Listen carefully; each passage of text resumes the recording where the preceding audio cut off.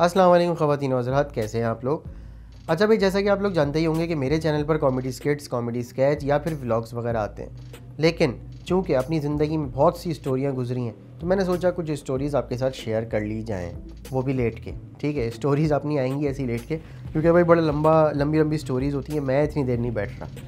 अच्छा स्टोरी का टाइटल देख के तो आप लोग समझ ही गए होंगे कि किस बारे में लेकिन मेरे साथ कम अज़ कम भी स्नैचिंग के छः सात अटैम्प्ट हो चुके हैं। लेकिन अल्हम्दुलिल्लाह आज तक आपके भाई का मोबाइल छीना ही नहीं है। अब उन छः सात दफ़ा जो अटैम्प्ट हुए हैं उनमें से जो सबसे मज़ेदार मज़ेदार नहीं कहना चाहिए सबसे ज़्यादा अबे जल्दी बोल कल सुबह पनवेल निकलना है। सबसे ज़्यादा सनसनी खेस यानी स्टोरी सुनाने में मज़ा आएगा। वो वाक़ हुआ है वो मैं आपको सुनाता हूँ। भाई, ये बात है तकरीबन छः सात साल पुरानी, जिस वक्त स्मार्टफ़ोन का दौर भी नहीं था और आपके भाई के पास था double six double zero mobile. काफ़ी महँगा लिया था मतलब वो भी ना। अच्छा सीन कुछ ये हुआ कि मेरा कज़न है तंजील। मैंने उसको फ़ोन किया। मैंने कहा, तंजील यार, वो जो तुम्हारे जानने वाले डॉक्टर हैं, उनके पास चलना है यार डेंटिस्ट हैं वो। उनके पास चलना है। मेरे मसूड़े जो हैं, वो थोड़े सूज रहे हैं तो मुझे स्केलिंग करवानी है। उसने कहा, बोला, ठीक है भाई। अच्छा वो जो दौर था ना, वो बड़ा बेहतरीन दौर था यार। मतलब इतना कोई मसरूफ़ भी नहीं होता था। फ़ोन करो यार, यहाँ चलना है, एक घंटे के लिए, वहाँ चलना है, दो घंटे के लिए। हम भी राज़ी हो जाते थे और दूसरे कज़न वगैरह भी राज़ी हो जाते थे। अब तो सब बिज़ी हो गए। खैर बैक टू द स्टोरी मैंने फ़ोन किया उसको। मैंने कहा, आ जाओ भाई। वो आ गया भाई। बाइक पे बैठे, निकल गए। घर से करीब ही है मेरे शादमान, वहाँ पर वो डेंटिस्ट का क्लिनिक था। मैं पहुँच गया। अच्छा वहाँ जाके हमने देखा तो हमारा ऑलरेडी एक कमीना कज़न पहले से बैठा हुआ था। अच्छा उसका था रूट कैनाल अब स्टोरी में ट्विस्ट यहाँ पे आएगा। तीन वो दोस्त आपस में मिल गए, जो कि कज़न्स भी हैं। और इतने अच्छे, यानी उनकी अंडरस्टैंडिंग है, मैं, तंजील और राजू। यानी आपस में बातें कर रहे हैं, भाई, तुम्हारे पास कौन सी बच्ची चल रही है? वाले कज़न्स नहीं होते? फुल दोस्त, यारी, गाली गलो सब चीज़ें चल रही हैं। तो भाई, जब हम तीनों मिल गए तो बढ़िया कोई एक तफरी वाला माहौल क्रिएट हो गया। अच्छा किसी की भी अभी बारी नहीं आई थी। हुआ ये कि वहाँ बैठी हुई थी एक लड़की, और उसके पास दो दो मोबाइल। नए नए स्मार्टफ़ोन उस टाइम आए थे, या जो मुझे याद पड़ रहा है कि स्मार्टफ़ोन ही थे, दो थे उसके पास। अब हमारी आई आँखों में चमक। हमने कहा, भाई, ये लड़की कौन है भाई? या हमारे पास डबल सिक्स डबल ज़ीरो है, वो इतने बेहतरीन, वो भी दो मोबाइल खैर, आपस में लोग बात करने लगे, भाई, तेरे साइज़ की है? नहीं बोला, यार, तेरे साइज़ की है। नहीं बोला, भाई, मेरे साइज़ की है। मतलब इस तरह बात कर रहे हैं ना कि जैसे अगर जिसका साइज़ मैच हो गया, वो उसको मिल जाएगी। इसी तरह ना हम लोग अपना टाइम पास कर रहे थे। खैर, थोड़ी देर में पता ये चला, अंदाज़ा हुआ। डॉक्टर साहब को उसने बोला अबू तो हमें पता चला कि यार ये डॉक्टर साहब की बेटी है। तो हमने कहा कि यार अच्छा ये तो बेहतरीन काम हो गया अब हँसी मज़ाक चल रहा था। बारी आई राजू भाई की। राजू भाई का होना था रूट कैनाल अब वो जाके लेट गए। वो जो उनकी चेयर होती है ना, बड़ी यूँ करके आराम से लेट गए। लेटने के बाद उन्होंने लाइट उनके मुँह पे कर दी। हम बैठे हुए, हम वही अपनी लड़की को देख के और उसके बारे में बातें करते रहे। थोड़ी देर में एक अजीब सा बंदा आया दाखिल हुआ ना मतलब अजीब इन सेंस के आप कहेंगे कि वो अपने दांतों के लिए कभी नहीं आएगा। ठीक है जैसे कि रुमाल डाला हुआ और थोड़ा आ, उस तरह का बंदा नहीं होता जैसे तीन डब्बे वाले नहीं होते अजीब भूलिया था यानी। उस सेक्शन पे बंदा था दुबला बदला उससे कुछ बातें बातें करने लगा। हमने ध्यान भी नहीं दिया हम लगे वही अपनी लड़की को देख रहे हैं बस। वो देख के चला गया। बेसिकली वो जायज़ा लेने आया था कि अभी कितने लोग हैं अंदर क्या माहौल चल रहा है। थोड़ी देर में भाई साहब आए हैं तीन चार और बंदों के साथ और हाथ में रस्से, मोटे वाले, रस्सी भी नहीं, रस्से। और दो बंदों के पास गन्स थी।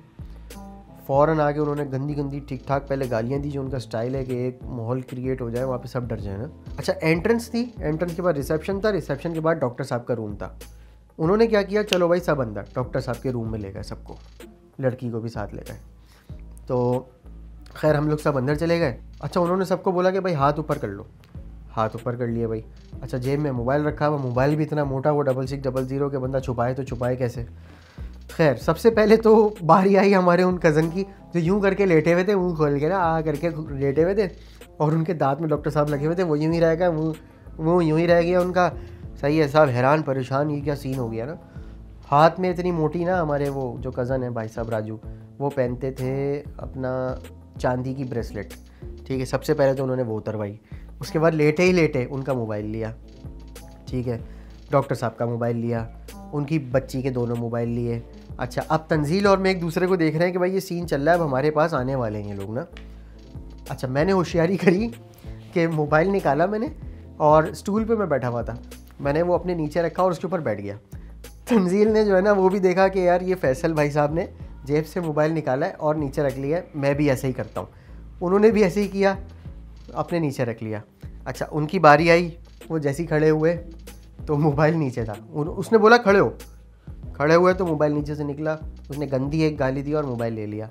अब बारी आ रही थी आपके भाई की।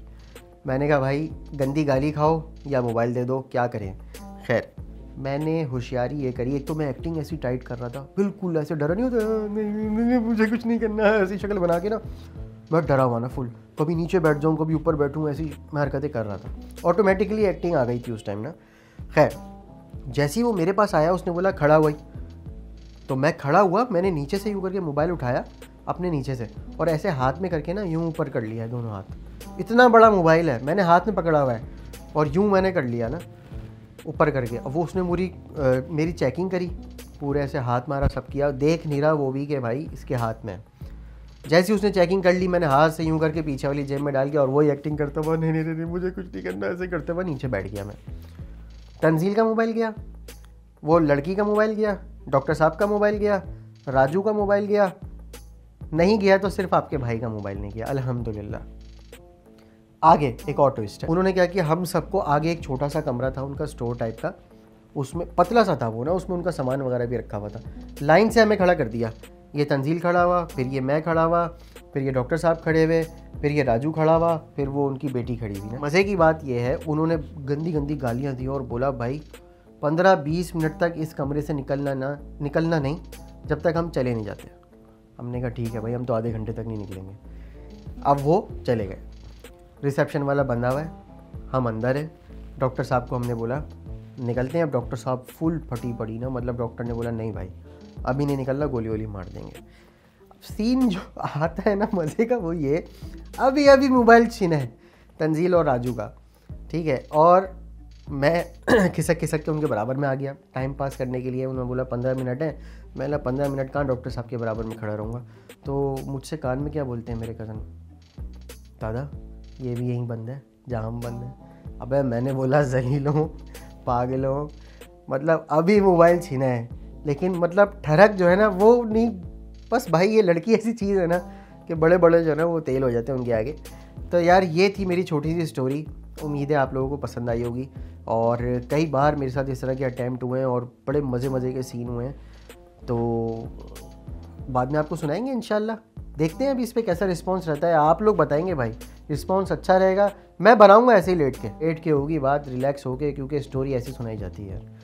ये मेरा स्टाइल है, ठीक है? तो भाई इस ये कमेंट्स भी करें, कैसी लगी? लाइक भी करें सब्सक्राइब भी करें। मैंने फुल कोशिश की है, मैं कैजुअल रहूँ, ये बनावटी ना, बनने की कोशिश ही ना करूँ। मज़ा नहीं आएगा वरना स्टोरी सुनाने में, सच बता रहा हूँ मैं, ठीक है? अगर इस पर कितने? अस्सी हज़ार व्यूज़ भी आ गए ना तो सेकंड स्टोरी में बनाऊँगा, ठीक है? वैसे तो मेरी वीडियो पे एक डेढ़ लाख व्यूज़ आते हैं, लेकिन वो कॉमेडी स्केचेस पे आते हैं। इस पर अस्सी भी आ गए ना नेक्स्ट स्टोरी डन है मेरे भाई। ठीक है? अल्लाह हाफिज़।